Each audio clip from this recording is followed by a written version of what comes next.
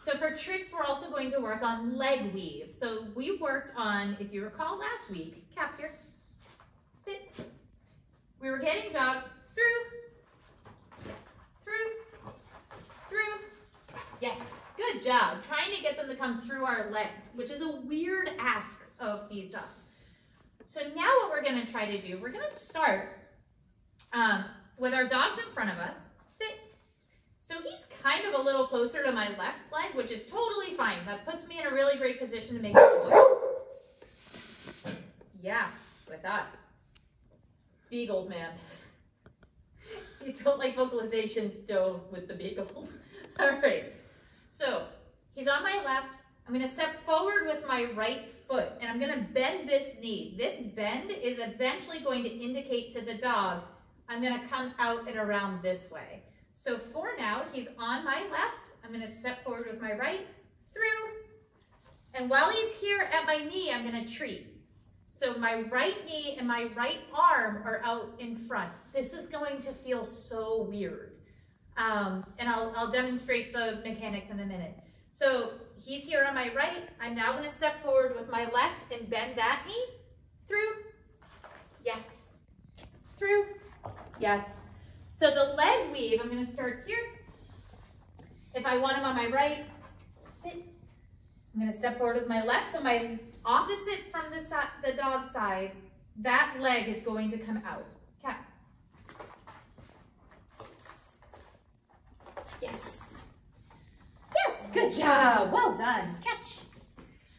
So the leg weave, where it can go wrong, and this is some common mistakes with the leg weave. I'll do it from, uh, I think maybe this side is better. You'll let me know if it's not, Nick. Sit. So if you come forward at the same side that the dog is on, and I ask him to come through, when my next leg comes over, I'm going to trip. I don't want to hurt my dog and I don't want to fall on my face. So that's why it's really important that whatever side the dog is on, it's the opposite leg that comes through. And as they're weaving, that's when your leg comes forward. Um, one thing that I teach my disc dog students, we do a lot of this with frisbees or with discs. Hop up, down, stay. The, the hardest part is the walk. So if you've ever watched the Monty Python Ministry of Silly Walks, I definitely feel like John Cleese in this day. All right, so right, uh, right leg is back, left leg has a bend.